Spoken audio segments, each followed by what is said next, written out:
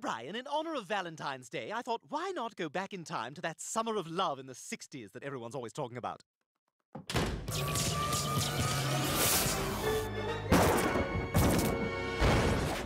Well, here we are, Rupert. Quahog's Summer of Love.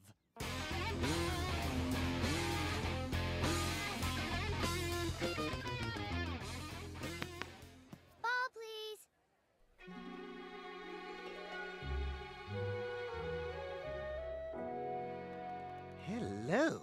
Oh, this must be yours. Thanks. My God, she's incredible.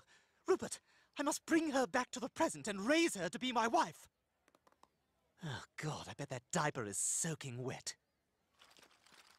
I can't let her get away. Oh, hi. Oh, hey, um, I- just came to say, um, you know, in a couple of years, something's going to come along called Sesame Street, and I know the name makes it sound Asian, but it's not, and it's going to blow your mind. no, the hell with it. The real reason I ran over here is because I wanted to do this. There's my little Lois. What?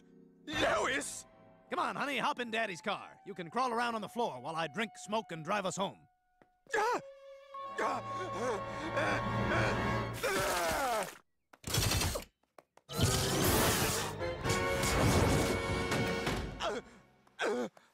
Oh my God, Stewie, what happened? None of your fucking business what happened! Jeez, you kiss your mother.